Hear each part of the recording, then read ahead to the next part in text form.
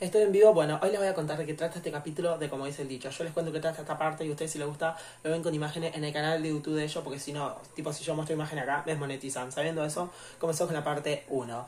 Bien, Mariana y su amiga le roban a los chavos ricos en el antro. Bueno, Mariana es una chabona, bien, una rubia. Está en el antro con su amiga. Entonces va buscando víctima, enamorando chabones que están ya un poquito borrachos porque así se les puede hacer más fácil sacarles dinero y cosas. Así que bueno, esta chabona le sacan a un tipo en el baño. Cuando ya Mariana sale del baño con la amiga, se encuentra con un chabón que se llama Miguel y Miguel la termina conociendo y se terminan gustando. Pero el chabón que estaba borracho ya está bien y recuerda haber visto a Mariana. Así que le pregunta a Mariana y le dice que le devuelva las cosas y cuando Miguel ve que este señor empieza a molestarla, las defiende de este chabón. Bien, llama a la seguridad y se arma todo un pleito porque supuestamente las robó. Y bueno, queda por esa, como que al final Mariana no robó nada. Después Mariana queda con Miguel en el antro. Luego de eso se va a la casa. Cuando está en la casa, agarra con su amiga y empieza a stalkear a Miguel para ver si tiene autos o cosas para sacarle, ¿no? Acuérdense que estas chabonas se dedican a enamorar hombres y luego sacarle cosas, ¿bien? Así que bueno,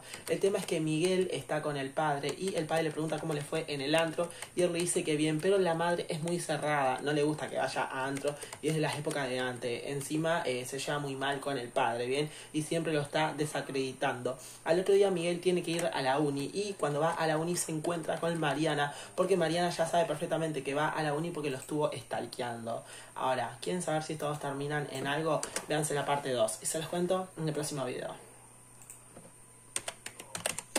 Vamos a a la parte 2 de este capítulo, como dice el dicho. Yo les cuento que trata esta parte y a ustedes si les gusta, lo ven con imágenes en el canal de ellos, porque si no a mí me desmonetizan. Sabiendo eso, comenzamos la parte 2. Mariana se hace novia de Miguel, pero lo llama su chacal. Bueno, les cuento. Miguel invita a un café a Mariana y Mariana acepta. Entonces ya están en el café y a Miguel le empieza a buscar a gustar. El padre de Miguel está enfermo y ve que la pareja llega tarde y encima se pone botox y le falta el respeto al padre.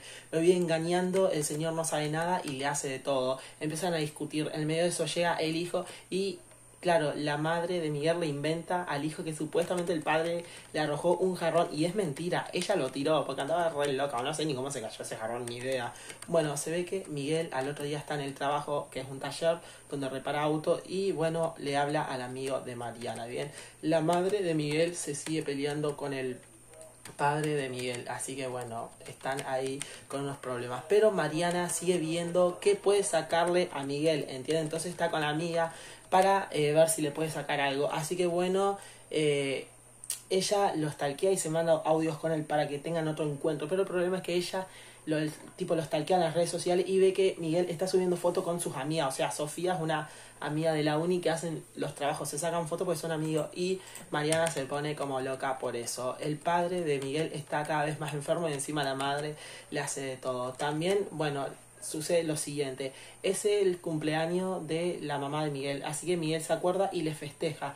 Luego de festejarlo vuelve a la casa, pero ya vuelve con Mariana, porque Mariana quiere conocer a los padres de Miguel. Y ahí es cuando Miguel se los presenta, pero a la madre de Miguel no le gusta para nada esta chabona.